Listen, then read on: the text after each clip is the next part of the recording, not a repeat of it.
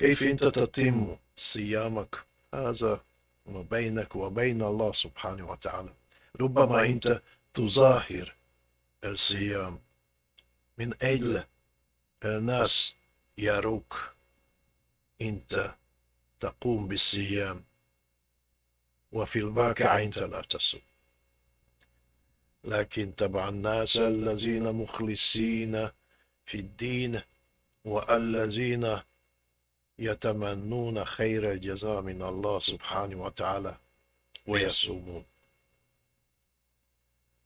رسول الله صلى الله عليه وسلم قال من صام رمضان إيمانا واحتسابا غفر له ما تقدم من الذنب.